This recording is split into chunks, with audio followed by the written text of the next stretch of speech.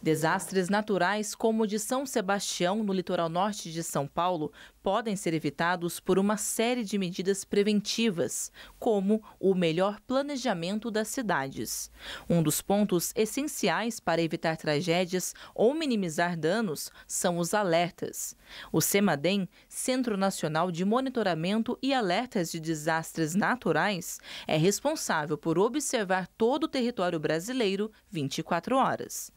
A gente faz o monitoramento da chuva em tempo real, então a gente olha uma série de instrumentos, imagens de satélite, imagens de radar, pluviômetros, estações que medem eh, níveis de rios, estações que medem umidade no solo, para poder agregar essas informações e emitir o nosso alerta se for necessário. A gente avalia eh, os municípios, se esse município é, tem muitas áreas de risco, se tem muitas pessoas expostas a áreas de risco, a gente define o nosso nível de alerta de moderado, alto e muito alto e envia. Esses esses alertas eles são enviados para a Defesa Civil Nacional e a Defesa Civil Nacional, com todos os contatos que tem, repassa para as defesas civis, tanto estaduais quanto municipais, para que eles lá na ponta possam fazer o trabalho de remoção, se necessário, alerta, se necessário, da população. Além dos alertas, a conscientização é fundamental.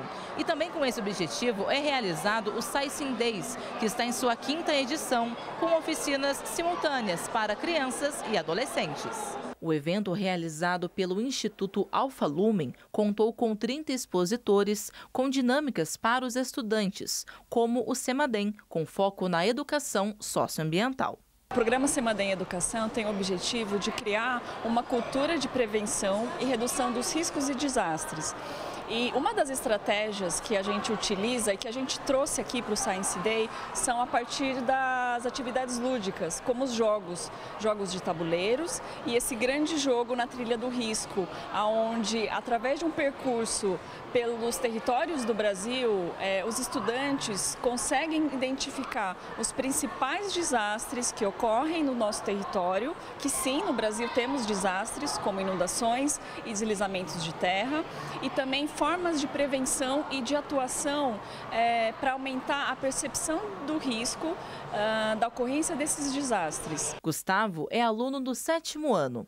Além de aprender com o jogo, também trabalhou como voluntário para auxiliar outros estudantes durante a atividade. Você tem que jogar um dado e andar as casas. Daí, cada casa tem alguma coisa escrita, tipo, volte uma casa. Às vezes tem uma questão, que daí você tem que responder A, B, C ou D. É, essas questões são tipo, qual é a razão da poluição, alguma coisa assim. Ele tem um monte de razões ou que não ajuda para acabar com a poluição.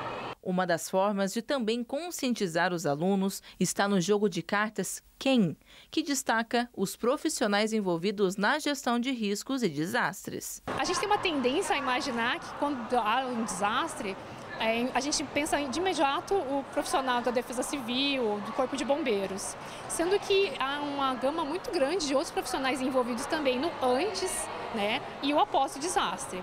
Então o jogo Quem, ele consegue focar justamente nesse, nesse rol de vários profissionais. Ah, a gente denominou como, por exemplo, hora do aprendizado, né, os profissionais da educação, mas também a hora do poder público. Então a gente foca, tem ah, os profissionais que envolvidos ah, como um, os deputados, né, os, ah, os, os, governadores, que é uma maneira também de levar isso em sala de aula, essa discussão. Se existem os desastres, né, ah, aqueles, os, o poder público também pode e deve estar envolvido justamente na, na, na questão da prevenção. Um evento com experiências diferentes para atrair o público e uma oportunidade de mais aprendizado. Ele ajuda muito, porque muitas pessoas não, tem, não conseguem descobrir tanta coisa em um dia só. E a, e o mais legal é que ele é aberto a todo mundo. E a gente acredita que através dos jogos, é, esses conceitos, então esse entendimento também da relação das mudanças climáticas, é, do impacto dessa desigualdade social que promove a ocupação dessas áreas de risco, é muito evidente e muito importante.